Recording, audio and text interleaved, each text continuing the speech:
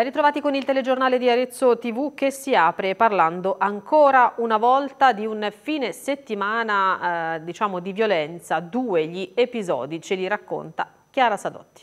Piazza della Badia ha bisogno di essere tutelata e il comune deve capire che i locali ci sono e che deve fare in modo di aiutare i locali a svolgere le loro attività in modo, eh, diciamo, senza preoccuparsi di eventuali aggressori o aggressioni vari, ecco. E di certo farsi giustizia da soli non è il modo adeguato per fare le cose. È per questo motivo che ha deciso di incontrarci in Piazza della Libertà di fronte al Palazzo Comunale il barista che nel fine settimana è stato aggredito nel tentativo di difendere un suo cliente. Il violento episodio si è consumato in Piazza della Badia, un angolo della città dove soprattutto nel fine settimana si concentra la movida cittadina. Tutto è iniziato attorno alle due quando senza un motivo apparente un uomo si è scagliato contro un cliente del locale dandogli un cazzotto. Io sono intervenuto ovviamente perché hanno iniziato anche a lanciare tavoli, sedie e tutto quello che trovavano.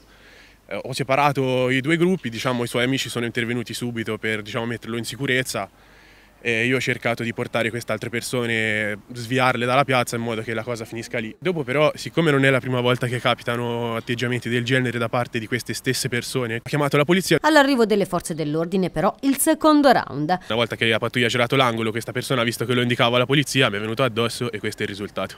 Ho 5 punti sotto la palpebra sinistra e un dente scheggiato. La polizia ha fermato e portato in questura l'aggressore che è stato identificato e denunciato anche perché trovato in possesso di un'arma da taglio. Non mi sento tutelato e sono sicuro che questo, questa cosa che ho subito non, ha, non avrà nessun effetto perché tra una settimana torneranno a dare fastidio alle persone. La piazza negli ultimi anni è stata spesso sfondo di episodi di violenza e criminalità come denunciato in più occasioni dai residenti, ma il giovane imprenditore non ci sta ad incolpare i commercianti. Io sono qui per farmi anche portavoce delle migliaia di ragazzi che comunque vengono a rilassarsi il venerdì e il sabato sera. Una persona di quell'età lì deve, deve, deve, poter andare dove vuole, mettersi a sedere e avere tutta la libertà di poter bere in santa pace senza che nessuno gli vada a dire che non può farlo o senza che nessuno vada lì e gli dia un cazzotto così senza motivo. Hai paura di riaprire il locale? Sinceramente sì.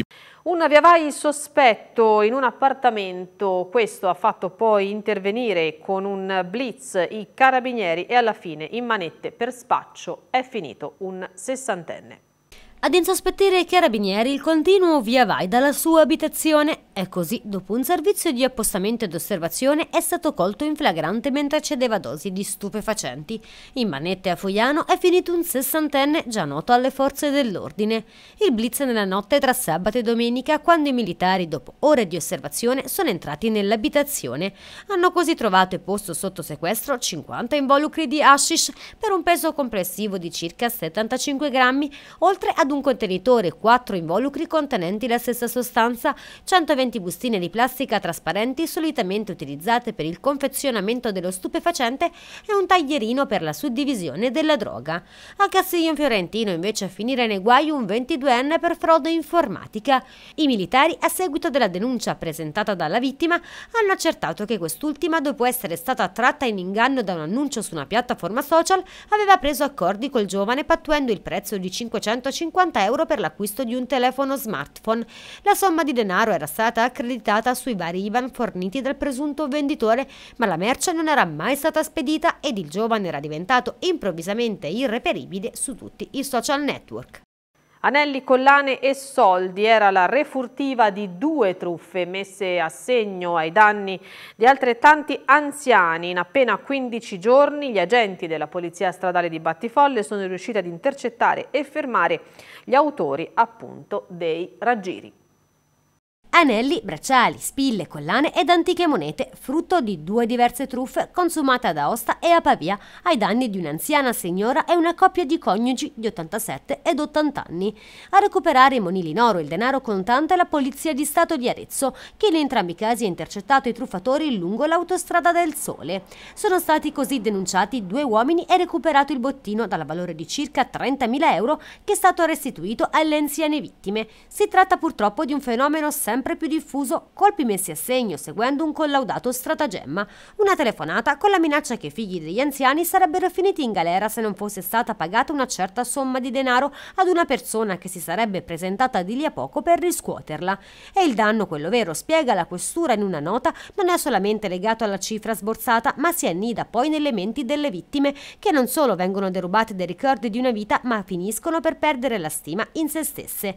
La Polizia di Stato con la sua campagna Esserci sempre ribadisce dunque che nessuno è lasciato mai solo e che le istituzioni sono sempre pronte ad aiutare chi, soprattutto i più fragili, abbia bisogno anche di un semplice consiglio su come comportarsi di fronte a soggetti sconosciuti che fanno strane richieste di persona o per telefono. Questo semplicemente chiamando il numero di emergenza 112 o per i più social attraverso il sito www.poliziadistato.it dove è pubblicato un vero e proprio vademecum.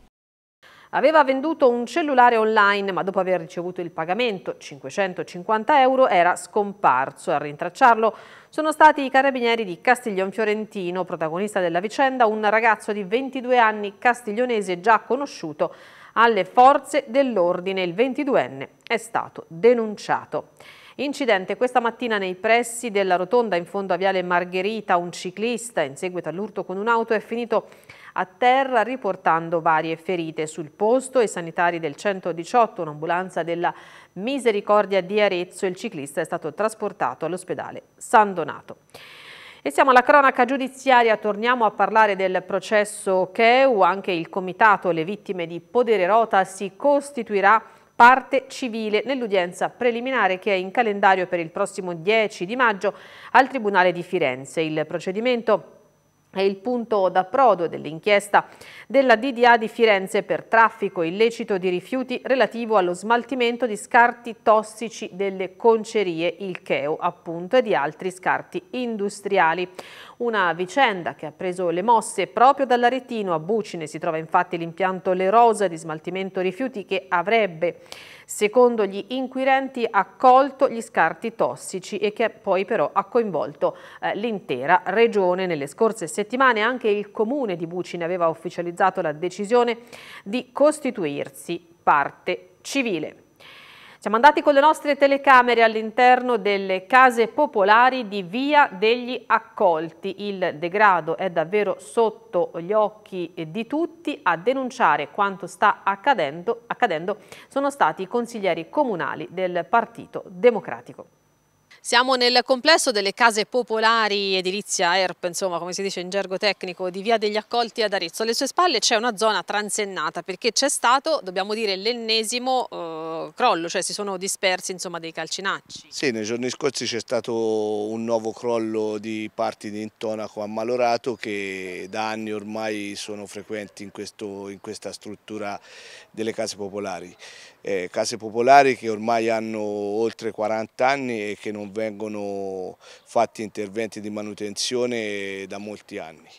Ecco, noi siamo stati anche all'interno, c'è un problema di, di muffa, ci sono degli oblò che non sono mai stati nella parte insomma, delle scale mai stati rimessi, eh, rimessi a posto. Cosa chiedete all'amministrazione comunale? Ma quello che teniamo innanzitutto sarebbe bello capire se il sindaco Ghinelli o l'assessore Manneschi vivrebbero nelle condizioni in cui vivono questi cittadini e poi chiediamo all'amministrazione, visto che ha risorse a disposizione proprie, che metta queste risorse a disposizione di Arezzo Casa per effettuare interventi di manutenzione straordinaria a questo edificio e non solo a questo edificio ma anche altri edifici di edilizia popolare che sono in condizioni simili a questo di Via degli Accolti.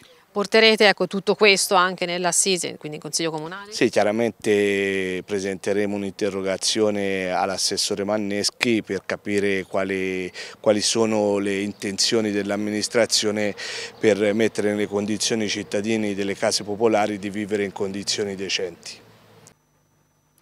E siamo alla pagina della cultura, una cena di ringraziamento per il Carnevale dei Figli di Bocco e una premiazione per il sedicesimo concorso fotografico dedicato a Piero Franchini. Allora, il Carnevale dei Figli di Bocco numero 27 del 2024 ci ha dato una grande soddisfazione, grandi, eh, tante persone sono venute a vederlo da tutte le parti d'Italia e anche oltre, quindi noi siamo molto soddisfatti di quello che abbiamo fatto dobbiamo ringraziare tutte queste persone che sono qui, che stasera sono a cenare, però durante il carnevale hanno lavorato tanto, quindi ci supportano molto. Quest'anno abbiamo fatto la seconda edizione del concorso fotografico intitolata Piero Franchini, nostro compaesano, mio amico anche personale, che purtroppo ci ha lasciato nel momento poi che doveva fare ehm, doveva proclamare la maschera vincente, la foto vincente del concorso fotografico, proprio in quel momento lì. La cosa è andata avanti e noi abbiamo deciso di intitolare questo concorso proprio a Piero Franchini. Fabio Tulli, eccolo qua, Fabio Tulli, complimenti, da Pontassiere, che ha ritratto Andalusia. E ringraziamo lui e sua figlia e gli altri che, hanno proseguito questa nostra impegno. Quindi che devo dire? Devo dire solamente che Castiglion Fibocca è un paese piccolo, paese piccolo, solamente 2000 abitanti. Noi siamo riusciti a portare avanti una manifestazione eh, a livello gran, ma molto, molto grande, molto più grande di noi. Questo ci dà grande, grande soddisfazione e ci impegna anche per il proseguo perché tutte le persone che vengono da tutte le parti ci fanno i complimenti in continuazione, quindi non ci possiamo fermare, dobbiamo andare avanti, abbiamo bisogno del ricambio generazionale perché ormai ci sono delle persone molto antempate, quindi bisogna che anche i giovani sentano qualcosa su questa manifestazione, sentono che può dare a loro, al paese e a tutti qualcosa di positivo. Quindi ringrazio, ringrazio anche voi che ci venite qui a, a intervistare, quindi grazie a tutti di nuovo. Ci spostiamo adesso invece in Val di Chiana dove nello scorso fine settimana è stata rievocata la battaglia di Scannagallo. La campagna rimane coperta di uccisi, di feriti, di sangue, di insegne e di armi, di morti, poco meno di 5.000 che a Franco Senesi non è perdonato, sono con grandissima crudeltà trucidati A distanza di 470 anni, la battaglia di Scannagallo è stata rievocata in Val di Chiana, tra Pozzo della Chiana, Foiano e Marciano. L'iniziativa promossa dall'Associazione Culturale Scannagallo ha ricostruito gli eventi avvenuti nel 1554 in Val di Chiana, culminati nel successo dell'esercito fiorentino di Cosimo I de' Medici che, sconfitto l'esercito senese, gettò le basi per la costruzione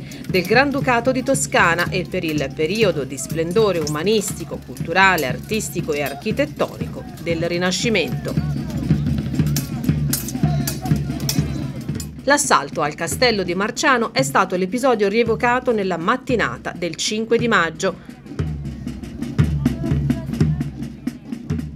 centro storico del paese della Valdichiana è tornato indietro nei secoli con la composizione degli schieramenti e il racconto dei fatti militari con la ritirata franco-senese.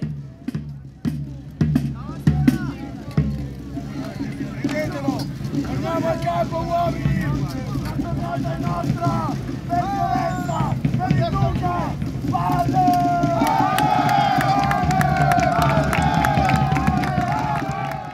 Ultimo atto di questo fine settimana di iniziative, la presentazione del libro Cosimo I de' Medici alla presenza del presidente della Regione Toscana, autore del libro. Se n'è andato all'età di 75 anni dopo una lunga malattia Massimo Casini, padre della sindaca di Lucignano Roberta, per molti anni anima e presidente della maggiolata lucignanese. I funerali si terranno domani, martedì 7 maggio alle 15 nella chiesa della collegiata del paese. A Roberta e ovviamente a tutti i familiari le più sentite condoglianze da parte della nostra redazione. E siamo allo sport, domani il primo incontro per i playoff, l'Arezzo ha soltanto una possibilità contro la Juve Next Gen, ovvero vincere. Servirà una gestione oculata, ha detto in conferenza stampa mister Indiani e servirà anche una prestazione senza errori, senza sbavature che potrebbero rivelarsi fatali. Andare sotto nel punteggio costringerebbe l'Arezzo a esasperare la fase offensiva lasciando spazi alle micidiali ripartenze squadre avversarie. Viceversa, trovare il gol per primi sposterebbe il peso di inseguire la qualificazione dall'altra parte. E poi, ha detto sempre Indiani, c'è la terza opzione, quella di una partita in equilibrio fino agli ultimi 30 minuti, in cui la maggiore esperienza e malizia degli Amaranto, contrapposta alla gioventù della Juventus, assumerebbe una valenza ancora più significativa. Vedremo insomma come andrà a finire. Già lo sappiamo invece come è finita l'ultima trasferta dell'Arezzo, in questo caso femminile, quindi delle ragazze dell'ACF. Una vittoria è stata riportata a casa contro il Tavagnacco. Sappiamo già che insomma è già stata conquistata e festeggiata la permanenza nel campionato di Serie B. In rete Razzolini, Diaz, Licco e Gnisci è infatti un poker quello calato dall'Arezzo Calcio Femminile che sul campo del Tavagnacco ha battuto le padrone di casa per 4-0. Nel secondo tempo probabilmente abbiamo cercato di più di giocare in ampiezza per andare ad attaccare la profondità e però devo dire che la squadra ha fatto una bellissima partita dal primo minuto di gioco e quindi sono molto contenta delle ragazze, credo sia stata la nostra miglior partita dall'inizio di, di quando ci sono e quindi faccio i complimenti alle ragazze. È importante secondo me per uh, tutte le squadre principalmente perché primavera si deve formare i giovani per la prima squadra e secondo me noi ci siamo riusciti con questo intento in questa società e niente, devo fare e diciamo gli auguri e anche complimenti a un'altra entrata che ha esordito, Penny Torres 2007 ed è entrata benissimo quindi sono contentissima di lei, le altre ragazze che sono entrate comunque giovani e ormai sono collaudate con questa squadra ma devo fare anche complimenti alle ragazze tra virgolette più veterane perché hanno accolto queste eh, ragazze giovani in maniera splendida, quindi complimenti a tutto il gruppo. L'appuntamento adesso è per domenica prossima al Comunale di Arezzo quando arriverà la rivelazione del campionato Cesena ancora in lotta per un posto al sole in Serie A. Ci cercherà di fare punti possibili perché come avevo detto in precedenza la salvezza è stata raggiunta, ora l'obiettivo è cercare di fare altri sei punti. E parlando proprio di Arezzo Calcio Femminile, non cambiate canale perché subito dopo il nostro telegiornale andrà in onda la puntata consueta del lunedì di Fattore D, Storie di Donne. Questa sera ospite nel salotto di Chiara Sadotti, appunto la capitana eh, dell'Arezzo Calcio Femminile Razzolini. Ed infine parliamo di atletica, un oro, un argento e un bronzo per l'Alga Atletica Arezzo nella prima prova regionale del campionato di società allievi. La manifestazione di Campi Bisenzio ha visto confrontarsi atleti e atlete del biennio 2007-2008 di tutta la Toscana. Una menzione particolare per Filippo Guiducci che è salito sul podio in entrambe le gare a cui appunto ha partecipato con il primo posto nel salto nel lungo con 6.68 metri e il terzo posto nel salto triplo con 13.30 metri. Poi l'ultima medaglia è arrivata con Lorenza De, Silvia, De Silva scusate, che si è piazzata seconda nei 200 piani con 26.21 secondi e quinta nei 100 piani con 12,97 secondi. È tutto per questa edizione del nostro telegiornale, vi lascio allora a Fattore D, la nostra trasmissione dedicata appunto alle storie delle donne. Questa sera il capitano Amaranto dell'Arezzo Calcio Femminile è l'ospite appunto di Chiara Sadotti. Grazie per l'ascolto e arrivederci.